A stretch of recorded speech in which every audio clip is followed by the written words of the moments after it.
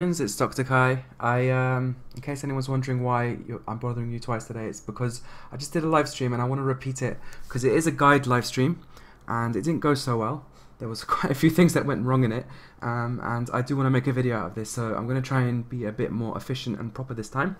So I am making a video about ED Profiler and specifically the Commander Log tool and the travel, uh, sorry, the chat logs tool because I really think that these tools are going to be immensely indispensable for Distant Worlds. I think loads and loads of people who haven't heard of it are going to be glad that they found out about it.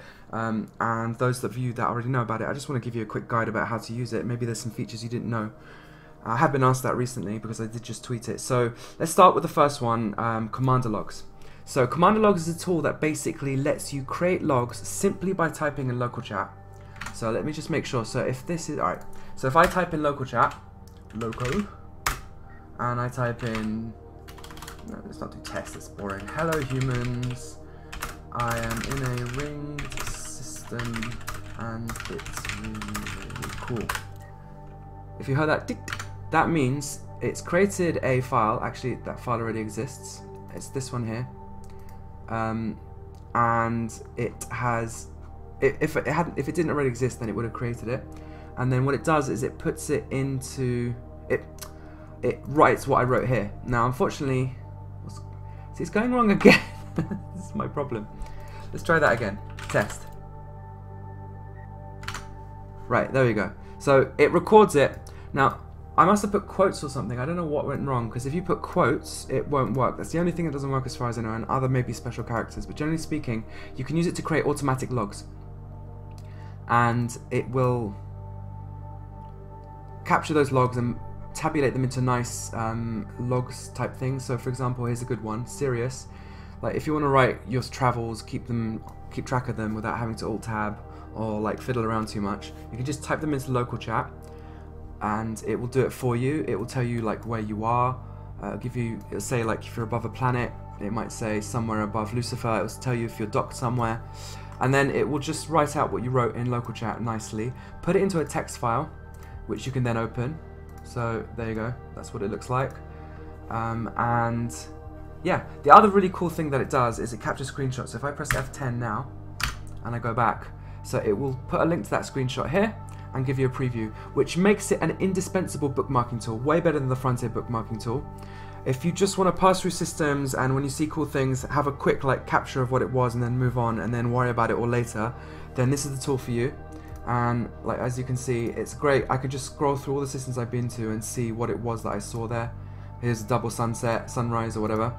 Um, this was an amazing planet that had like a nebula in the sky and a love sun. Um, yeah so, you know just cool stuff. Here for example I wanted to remember that I need to go there when the um, one that it was nice. Very orange and it reminds me of the first time I went there when I was doing some rare trading so yeah, it also lets you merge. It's got you can pop it out and edit it elsewhere. You can go to the folder where everything's saved. You can sort. You can search. You can um, turn off the screenshot thing. You can turn off the info bits. You can constrain it with log prefix so it doesn't capture all your local chat. So now I have to type log for it to record. Gives you a nice beep to make to let you know that it's worked because obviously you don't want to have to just like if you're in VR, it defeats the purpose if you have to go and check every time. So that's that. It's also got an expedition mode which puts everything in a single file that you can name.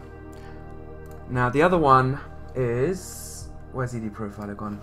Is the chat logs, which lets you show chat history.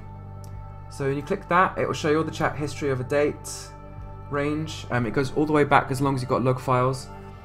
You can also filter it. It includes all the different chat um, types. So you've got squadron, local, um, direct messages, color coded like the game.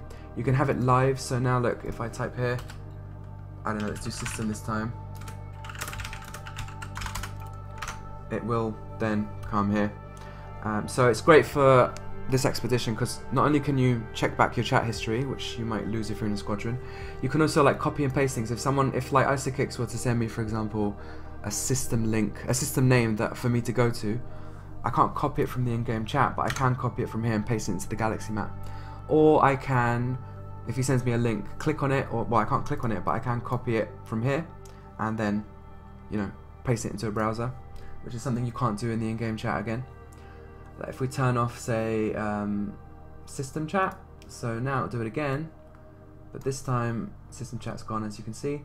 It also goes way back as long as you've got logs, so 2018 November, show chat history. I hope this isn't a private conversation. Okay, well, I was talking about distant worlds even back then, that was a pretty cool result. And yeah, it does wing chat, it gives you little snippets of what you're doing, hyperspace jump to, well, oops, hyperspace jump to snuffe, whatever. Uh, you could turn that off with the system messages. And overlay mode doesn't really work, so don't use that. You can change the font. Alright, that's enough about that. I hope you see the potential amazingness of that. That's a big search, it's going to take a while. So let's just close it. Right, back to ED Profiler. What is ED Profiler, in case you haven't heard of it? So it's just a tool that basically gives you all the in-game graphic settings, lets you change them, and then save them to a profile. So I've got a 4K one, I've got one specifically for streaming, I've got some VR ones down here. You can also just have like your default VR and your default 2D profiles. You can detect the current in-game settings, so whatever you've got set now, it will detect, and then you can save that to a new profile or an existing profile. You've got the defaults here, and um, what you do is you then click apply, and start the game, and it will take on those settings. You have to restart the game between applies.